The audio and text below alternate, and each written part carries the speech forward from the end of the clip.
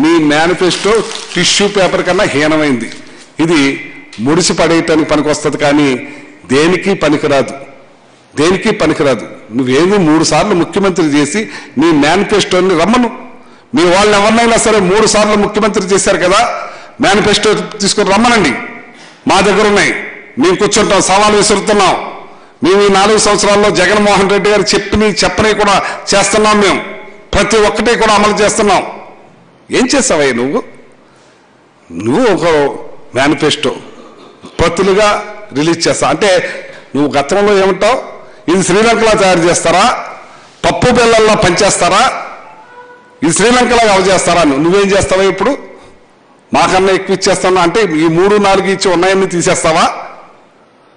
ఇదేనా నువ్వు చేసే పని? నువ్వు మొన్నటిదాకా ఏమన్నావు? ఈ రాష్ట్రం అప్పుల పాలైపోతుంది.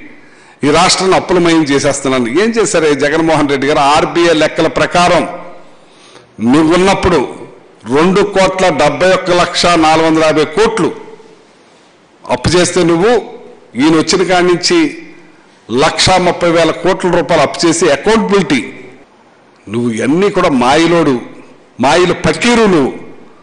మాయిల పకీరుకి వెయ్యి రెట్లు ఇంకే ఇంకే పేరున్నా ఉందేమో చూడాలి. మాయిల పకీరు మార్తాండవు నువ్వు. తమ్మిని బిమ్మి బిమ్మిని తమ్మి చేస్తావు ఇస్తానని చెప్తావు నేనెప్పుడు ఇస్తానని అంటావు. అంటే అతను నిజం చెప్పితే అతను తలకాయ వెయ్యి చెక్కలు అవుద్ది. అంచేత అన్నీ చెప్పి అన్ని అబద్ధాలే. వైసీపీ నాయకులు ముఖ్యంగా వైసీపీ మంత్రులు గింగిరాలు తిరిగిపోతున్నారు. మైండ్లు బ్లాక్ అయిపోతున్నాయి.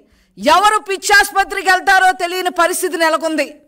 పిచ్చి పట్టి ఏం చేయాలో తెలియక ఏం మాట్లాడాలో తెలియక ఈరోజు మా నాయకులు చంద్రబాబు నాయుడు గారి మీద లోకేష్ బాబు గారి మీద ఇష్టం వచ్చినట్టుగా మాట్లాడుతూ ఉన్నారు.